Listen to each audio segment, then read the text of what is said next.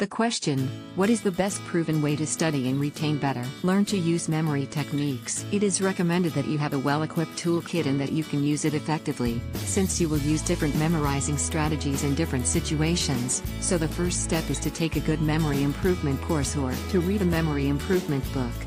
There are many memory techniques, e.g., acronyms, link method, loci technique, PEG system, major system, etc from which you can choose a few favorites after you learn how they work. Memory techniques will help you transform the abstract notions into concrete and hard to forget images. Here you can find more about these techniques.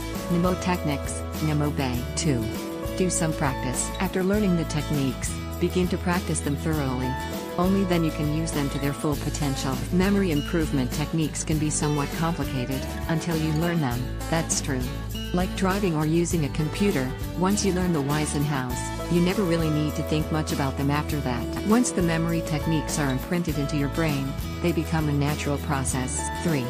Use various tricks to make the mental images association an absurd or hilarious show. Make your associations unusual, ridiculous, impossible and they'll stick like glue. Apply Harry Lorayne slap in the face principle.